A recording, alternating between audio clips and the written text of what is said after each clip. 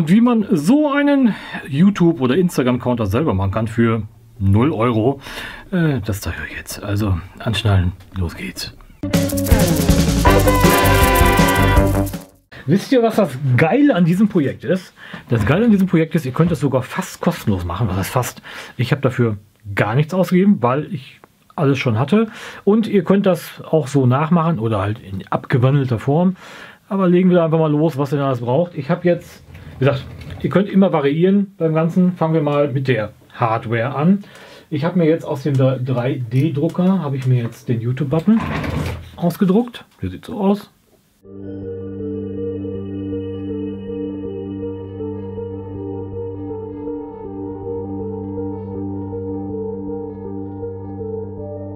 Ganz schnörkellos. Den mache ich jetzt gleich innen drin noch weiß. So, und dann habe ich mir noch Hände ausgedruckt. So, ganz kleine, feine, niedliche Hände.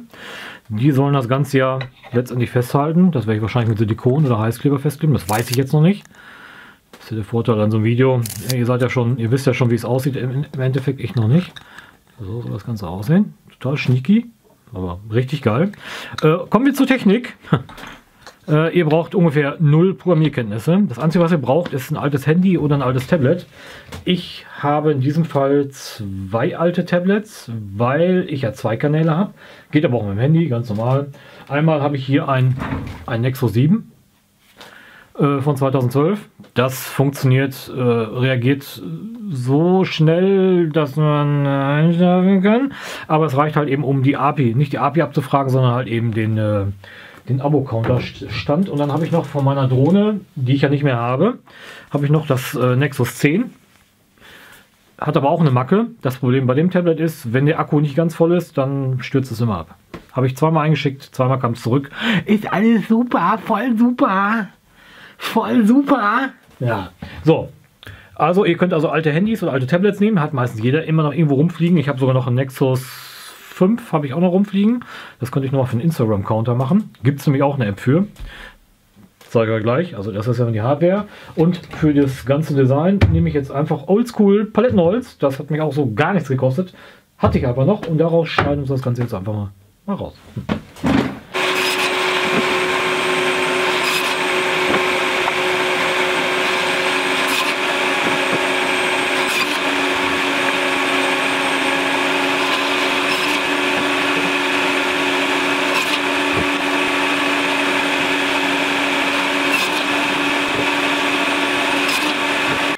So, und auch wenn ich das vorhin angezeichnet habe, habe ich das ganz grob ausgesägt.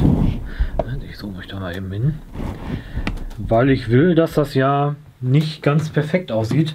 Deswegen auch hier so leichte Überstände. Und deswegen auch so Pi mal Daumen. Dann soll nämlich jetzt hier der Play-Button soll dahin. Das Tablet soll hier hin ungefähr.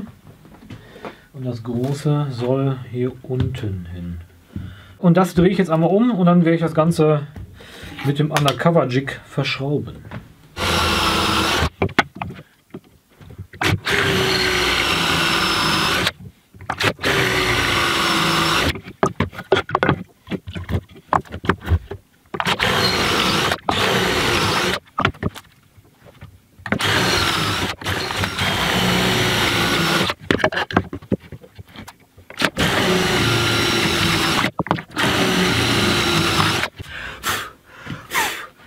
Wer Undercover Jig immer noch nicht kennt, zumindest die, die neu auf dem Kanal sind, äh, Videobeschreibung. Verlinke ich. Sehr geiles Zeug.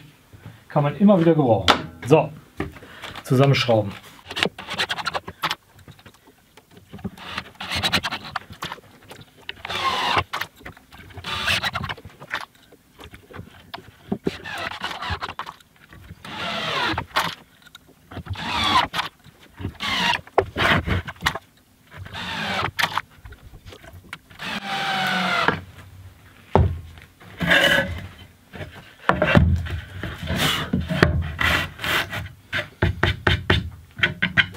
Der ein oder andere wird sich mit Sicherheit schon gefragt haben, warum mache ich denn jetzt diese unmöglich aufwendige Methode mit diesem Undercover-Jig?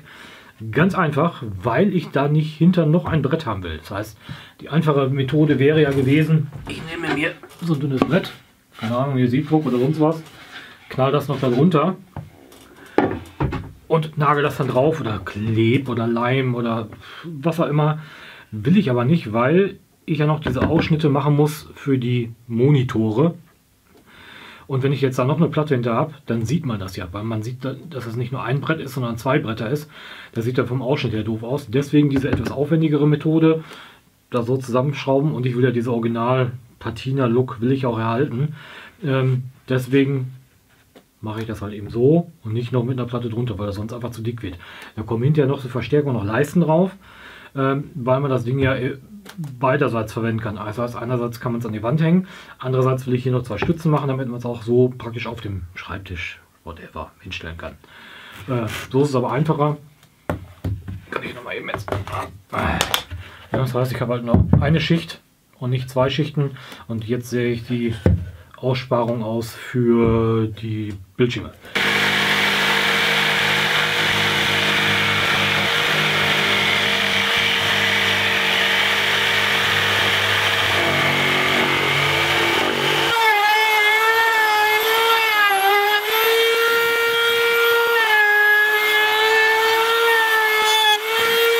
Ja, so hätten wir den Grundrahmen schon mal fertig. Sieht dann von hinten so aus. Und von vorne abgerundet so aus. Da kommen dann die Tablets hinterher hinter. Und jetzt muss ich eben noch Leisten sägen. Und dann können wir das Ganze, weil das jetzt natürlich auch super instabil ist, außerdem ist mir hier auch sofort sogar was gerissen noch. Gerade beim Fräsen. Ist nicht so schlimm, weil ich jetzt von hinten muss ich mir praktisch jetzt so ein Leistenkonstrukt machen, wo ich die Tablets reinschieben kann. Muss sie aber auch noch laden können gleichzeitig. Äh, ja, deswegen sehe ich jetzt erst eben die Leisten und dann geht es gleich weiter. Ich habe jetzt eine Leiste so als T-Leiste gemacht. Das soll ja auch Verstärkungsleiste sein. Die kommt jetzt hier zwischen die Tablets. Und hier hin. Eine soll hier hinter. Einmal als durchgehende Leiste. Da muss ich noch ein Loch bohren für Ströme. Eine soll dann hier oben hin, die muss ich gleich auch noch ausfräsen. So. Und eine soll noch hier unten hin. Die muss ich auch noch ausfräsen.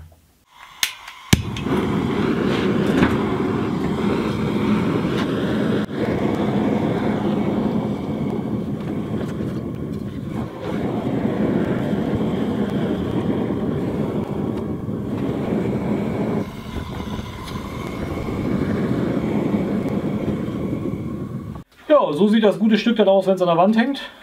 Ich habe dadurch mehrere Halterungsversionen gemacht. Das heißt, einmal na, kann ich es an die Wand hängen und ich kann es auch als Ständermodell machen.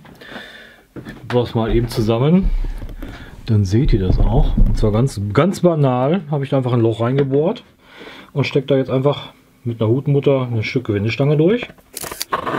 Das geht auf der anderen Seite nicht, weil das Tablet im Weg ist. Deswegen muss ich mir, oder nicht muss ich, sondern habe ich mir so eine Halterung gebaut. Die wird auch hier durchgesteckt. Die hat dann zusätzlich nochmal die Funktion, dass, die, dass das Tablet nicht rausfallen kann. Praktisch wie so ein Abschlussblock. Und dann drehe ich von vorne einfach die äh, Hutmutter drauf. Und dann zeige ich euch das Ganze jetzt mal im Detail. Fangen wir mal vorne an.